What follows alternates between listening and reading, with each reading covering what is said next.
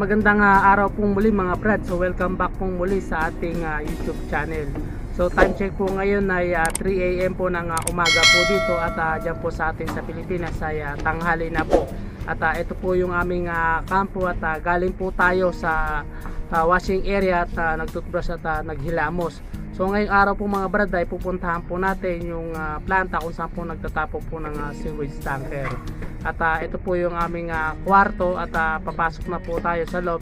At ah, dahan-dahan lang po tayo dahil ah, mga tulog pa ho yung ating ah, mga kasama. So shout out nga po pala sa mga kasama ko po dito sa kwarto kay ah, Ferdi Alarcon, kay ah, Ray Esyang at kay ah, Hinera Pangilinan at kay ah, Kuya Joseph Kapit. At ah, ito po ngayon yung aming ah, almusal. So ito po yung kamote kahoy na binili po ni Kuya Joseph Kapit.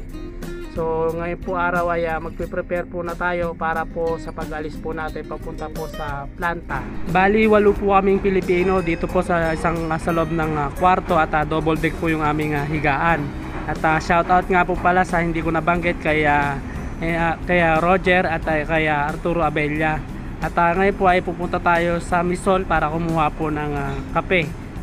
At uh, ayun po at ah, lalabas ulit po tayo at ah, dahan-dahan lang po nating sasara yung pintuan para hindi po sila magising. At ayan po at ah, papunta na po tayo ng aming ah, misol.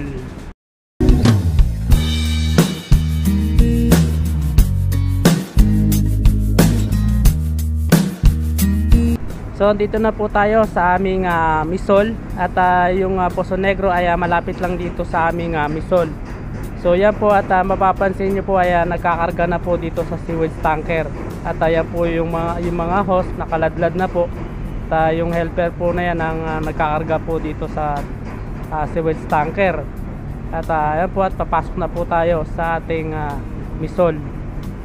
At ah, ito po yung aming ah, misol at ah, sarado pa ho. Wala pa ho yung mga ah, nagbibigay po ng pagkain.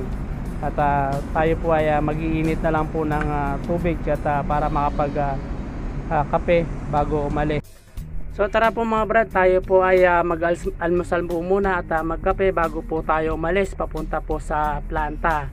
At ah, dahil po sarado pa ho yung aming ah, misol ay, ay ah, dito na po tayo nag-almusal sa kwarto dahil meron naman po tayong almusalin.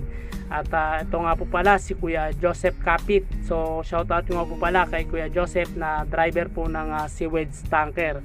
So yun po at ah, tatlo po rito silang ah, driver sa kwarto na kasama po namin si Kuya Hiner, si Roger at si ito po si Kuya Joseph. At ang ah, welder naman po nakasama ko po dito sa kwarto ay ah, tatlo rin po rito. Ako at si Perdi at si Arturo Abella. At ang isang painter po nakasama po namin dito sa kwarto ay si Kuya Celso. At ah, isa pong ah, mekaniko na si Ray Esyang. At ah, si Kuya Joseph po ay ah, 10 taon na pong ah, nagdadala po ng ah, sewage tanker. At ah, medyo matagal-tagal po siya kaysa kay ah, Kuya Ene. So bago po tayo umalis mga brad ay ah, kailangan po ay ah, wag po natin kakalimutang ah, dalhin po yung ating ah, ID. Ito po yung ah, residence ID po dito. Para po hindi po tayo magkaberya po sa daan kung ah, meron po mga pulis. Dahil ah, pwede po tayong makulong po kung wala po tayong ah, residence ID at mapauwi. At ayan po at tapos na po tayong ah, magkape at ah, paalis na po kami.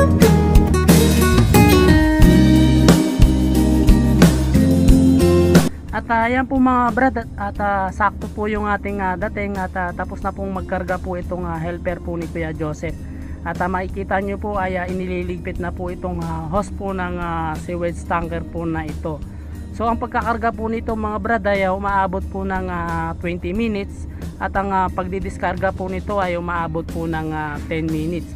So mas matagal po yung ah, pagkakarga kaysa po dun sa pagdidiskarga po nitong ah, ah, sewage tanker. At ah, mapapansin nyo po yung sewage tanker po na ito ay ah, malinis po yung ah, itong ah, sewage tanker po na ito. At ah, yan po kahit po madilim ay ah, makikita nyo po na malinis po yung ah, sasakyan po na ito. At ah, maalaga po yung ah, nagdadala na po nito. At ah, yun po at ah, dalawa po sila ni Kuya Joseph po yung ah, nagpapalitan po nito. So shout out nga po pala sa kapalitan ni Kuya Joseph Kapit na si Kuya Hinera Pangilinan, Pangilinan na taga uh, Alapalit, Pampanga. So yan po at uh, bisita mo muna tayo dito sa aming uh, misol at uh, bukas na po. At dahil po tayo ay tapos na mag-almusal ay uh, lalarga na po tayo papunta po ng uh, planta. So first trip po ni Kuya Joseph po ang uh, biyahe po na ito at uh, first time din po nating sasama po papuntang uh, planta para po makita kung saan po nagtatapon sila. At uh, tatlong biyahe po ito si Kuya Joseph. At uh, pagkatapos niya pong bumiyahe ay uh, babiyahe naman po si Kuya Iner ng hapon. At ayan po si Kuya Joseph uh, uh, kapit. At uh, naghahanda na po para po sa pag-alis po namin. At ayan po yung kanyang uh, helper. At uh, tayo po ay uh, lalarga na po. At, uh, ito po at palis na po kami. So medyo masikip po yung uh, labasan po ng uh, service tanker po na ito dahil marami pong nakaparking po na sasakyan. So ito po nakabalagbag pa ho itong uh, diesel tanker po na ito. At ang uh, dadala, pupuntahan po namin planta na pagdadalaan po ng, uh, ng uh, laman po nitong sewage tanker ay uh, sa Alto Mama po daw. So sa Alto Mama po daw ay uh, uh, temporary lang daw po silang nagtatapon doon o hindi po talaga sila doon nagtatapon at uh, on the way na po tayo papunta na po tayo sa Alto Mama kung saan po tayo magtatapon At uh, ito po mga brad at uh, palabas na po kami ng uh, highway galing po sa looban. At uh, mapapansin nyo po ay uh, wala pa kong ganong uh, sasakyan ng uh, ganitong oras at uh, malinis po yung uh, highway. At uh, ayan po at mapapansin nyo po yung aming takbo ay uh, malug po yung uh, sasakyan dahil po sa karga po nito. So mapapansin po nyo po yan dyan po sa bote po na may uh, tubig ay uh, parang ang dinadaanan po namin ay uh, rough road. So dahil po yan dito sa karga po namin na uh, mas marami po kasi yung tubig po nito kaysa po dun sa dumi. At uh, mas maalog daw po ito kung ito po ay uh, kalahati lang po yung uh, laman po ng uh, sewage tanker. At uh, ito pong dala po ngayon ni Kuya uh, Joseph ay uh, puno po itong uh, dala po niya uh, pero malog pa rin po siya so yun po mga brad at uh, medyo na-stuck po tayo dito sa stoplight So ito pong uh, dala-dala po ni Joseph ay uh, automatic po itong uh, kanyang uh, dala-dala po na ito. So mapapansin nyo po yan po yung kanyang uh, cambio ay uh, parang uh, pihitan lamang po ng uh, washing machine. So ganyan po uh, ganda po dalin po itong uh, sasakyan po na ito dahil uh, automatic po ito. At ayan uh, po at uh, paalis na po tayo dito sa stoplight at uh, yan po at lumalarga na po tayo So dito po sa sewage tanker po mga brad ay uh, marami pong uh, gusto na uh, dito mapwesto sa sewage tanker dahil uh, maganda po yung uh, bigayan po dito ng uh, overtime. So automatic po na meron na po silang 4 uh, hours sa tatlong biyahe po nila pag uh, natapos na po nila. So minsan po ay uh, maaga po sila kaya Joseph natatapos na sa tatlong biyahe kaya maaga rin po silang nakakapagpahinga. Kung minsan naman po ay uh, natatagalan po sila sa biyahe dahil uh, kung uh, malayo po yung uh, lugar na kanilang pinagtatapunan ay uh, medyo matagal po sila na, natatapos sa tatlong biyahe po nila. So kung minsan po ay uh, dalawang biyahe lang man po sila dahil uh, uh, depende rin po doon sa laman po nung uh, Poso Negro. Kung uh, marami po yung uh, laman ay uh, nakakatatlong biyahe po sila. Pero kung uh, kaunti lamang po ay uh, dalawang biyahe lang po ay uh, na minsan ang uh, biyahe po nila. So yun po mga brad at uh, mapapansin nyo po ay uh, may umovertake po sa amin na sewage tanker po din yan. At uh, papunta po rin yan ng uh, planta para po magtapong po ng uh, dumi. So dito po kasi mga brad sa industrial ay uh, lahat po ay uh, gumagamit po ng uh, sewage tanker para po magtapong po sa mga planta. At uh, wala po kasi mga direct uh, pipeline papunta po ng uh, planta kaya po ang gamit po rito ay itong mga sewage tanker po na to para magtapon po ng dumi sa mga planta po. At uh, marami rin po mga planta po rito na pagtatapunan at uh, ito po lang po yung aming uh, pupuntahan ay uh, ito po yung dito sa Alto Mama ay uh, temporary lang po daw sila Kuya Joseph na nagtatapon dito. At uh, maliit lang po daw yung uh, planta po na ito na pagtatapunan po namin at ayan po at uh, tuloy-tuloy po yung aming uh, biyahe hanggang sa makarating po tayo doon sa planta nating pagtatapunan.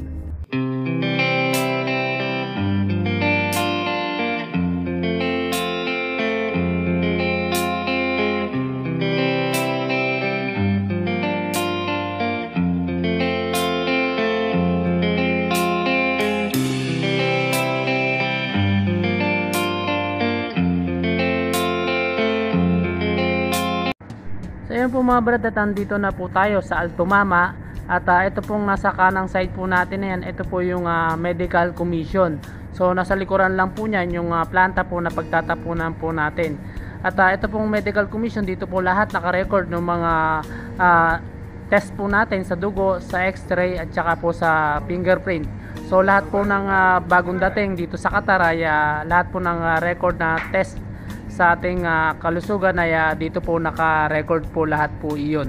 At ah, dito po at kakaliwa na po tayo dito papasok po sa loob at pap- malapit na po tayo dito sa planta.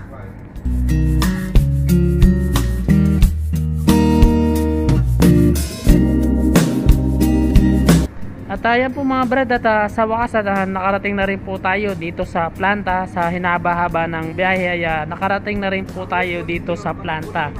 At ah, ito po mga sewage tanker po na yan ay ah, na sa atin ay magtatapon din po yan. So ibang co- company po yan. At ah, ito po at bumababa na po yung ah, helper ni Kuya Joseph para po mag-ready na po dahil ah, kinukunan po ng ah, sample po yung ah, tubig po nitong ah, sewage tanker. So, kaya po kinukunan po ng ah, sample yung tubig po nung ah, sewage tanker ay ah, kung ah, ito po ay ah, malangis daw ay ah, hindi po raw ito tatanggapin dito sa planta.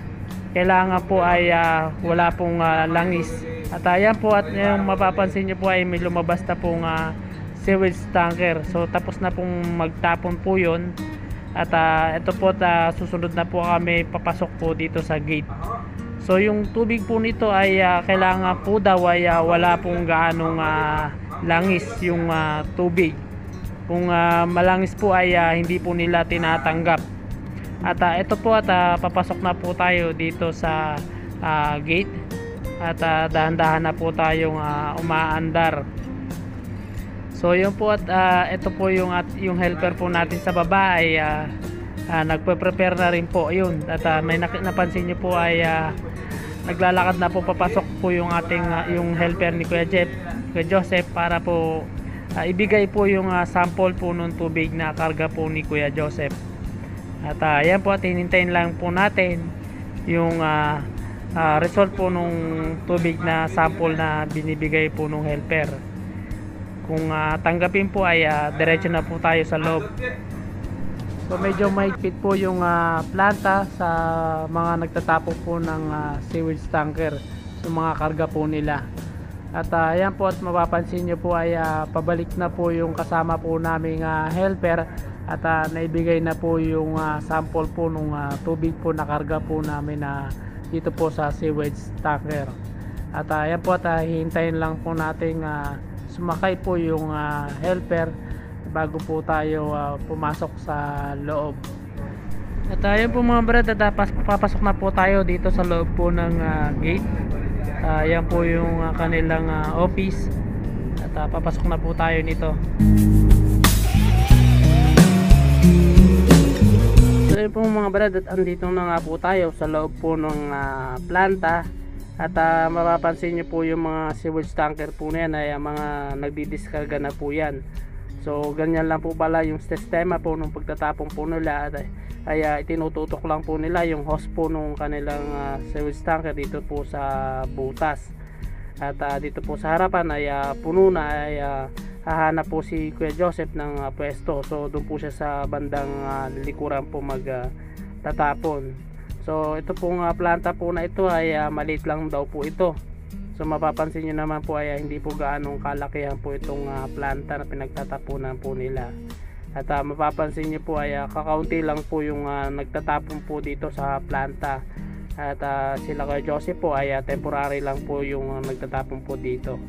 At ah, ito po at ah, bababa po tayo ng ah, sewage tanker at ah, dito na nga po tayo sa labas at titingnan po natin kung paano ah, ah, tinatapon po yung ah, halaman po nito. So ito po at ah, titingnan po natin yung ah, butas at ito po yung butas na pag nagtatapunan po nila.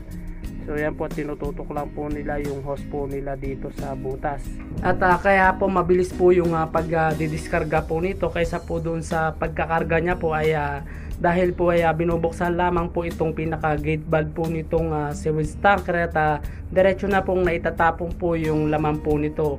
Kaysa po doon sa pagkakarga dahil uh, ginagamitan pa po ng uh, water pump para po maikarga po dito sa sewage tanker at uh, po mga brad at uh, bawal po daw ditong uh, magkumuha uh, ng videos. At uh, baka po magka-problema si Kuya Joseph dito po sa management po ng uh, planta So may mga CCTV po dito na nakalagay at uh, yun po ating baka po tayo ay uh, masilipan po dito. At uh, yan po at andito na po tayo sa loob po ng uh, sasakyan. So habang nag-aantay po ng uh, matapos po itong uh, pagtatapon po natin ng uh, laman po nitong uh, sewage tanker. At uh, yan po mapapansin niyo po yung uh, sewage tanker po na yun ay uh, tapos na po yung uh, magdiskarga So palabas na po yan ng uh, planta. So ganun lang po kabagaling magtapo po ng uh, laman po ng sewage tanker po kaysa po doon sa pagkakarga uh, po ng uh, sewage tanker po. At ayan po mapapansin niyo po yung uh, maatras po na yan ay uh, magda didiskarga na rin po yan ng kanilang uh, daladalang uh, sewage tanker. So yan po at uh, yan po yung uh, pumalit po doon sa lumabas na sasakyan. At uh, ayan po at uh, maya maya po ay matatapos na po tayo. At uh, ito po tapos na po tayong uh, magtapon po nung uh, laman po nitong sewage tanker at uh, tayo po ay uh, palabas na. So mapapansin nyo po ay uh, maliwanag na po. So maaga pa ho ngayon nasa alas 5 pa lang pero yung uh, liwanag ay uh, maaga So mapapansin nyo po mga brad yung uh, pipeline po na yan ay uh, dyan po dumadaan yung mga itinapong po na dumi galing po sa sewage tanker. At uh, papunta po yan ng uh, makina para po ma-filter po yung uh, tubig. At uh, ito po at palabas na rin po kami ng uh, planta. So ganito lang po siya kaliit yung uh, planta po na ito. So hindi po siya ganong uh, kalakihan. At uh, ito po at uh, pauwi na po kami so ito po palabas na rin po kami ng uh, gate. So uh, yan po ng mga nasa unahan. Yan po ay uh, mga magtatapon din po yan ng uh, uh, kanilang uh, karga na sewage tanker. So yun po mga brad at uh, palabas na po tayo. At uh, pauwi na po tayo ng ating uh, kampo. So medyo maliwanag na po. At uh, mapapansin nyo po itong uh, right side po na yan ay uh, yan po yung parang uh, lawa po na yan ay uh, dyan po bumabagsak po yung uh, tubig na na-filter na galing po doon sa planta. So medyo malawak po ito. At uh, yung tubig po nito ay uh, ginagamit naman po sa pandilig po sa mga halaman. So may mga pipeline po yan na nakakonect na po doon sa mga halaman po dito sa Qatar. So hindi po kasi mabubuhay yung mga halaman kung wala pong uh, nakatutok po na tubig na para po mabuhay po yung mga halaman. Uh, hindi lang po yun mga brad at uh, meron din po itong uh, connection papunta po doon sa mga refilling uh, station para naman po doon sa mga uh, water tanker po na kulay uh, green. So yung kulay green po na water tanker yun po yung uh, ginagamit pang uh, buhos po sa karsada at uh, ginagamit po din po pandilig po sa mga halaman na walang connection po ng uh, tubig. So ito pong tubig po na ito ay uh, hindi po pwedeng uh, gamitin pang uh, sabaw at pang, pang uh, paligo po at pang uh, laba. So ito po ay ginagamit lang po sa mga pangdilig sa karsada at mga pang uh, ginagamit po sa construction. So para po wala pong uh, sayang po doon sa tubig po dito. Dahil ang tubig po dito mga brad ay uh, nire-refine lang po galing pong uh, dagat. At uh, yun po mga brad at pauwi na po tayo nito at uh, tuloy-tuloy lang po yan hanggang sa makauwi na makarating na po tayo sa ating uh, kampo. Boom, boom, boom, boom.